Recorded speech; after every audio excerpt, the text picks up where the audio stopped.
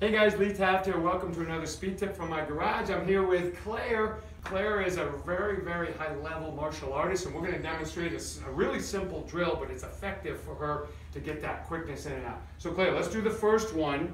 So you're going to start there. This is number one, this is number two. So if I call the number, she's just going to explode to that and get back and she's in her attack stance, okay? okay. All right, ready? So you're going to be like that? Yeah.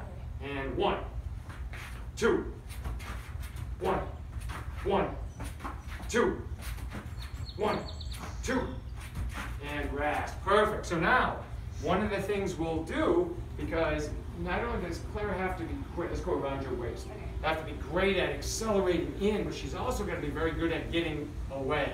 So I'm going to load her and make her push back faster, okay? So same drill. I'm just pulling her into me. She's going to be able to decelerate and get back. All right, one more time. Ready? Two. One. One, two, one, one, and rest. Awesome job. Good work. So there you go. Great exercise.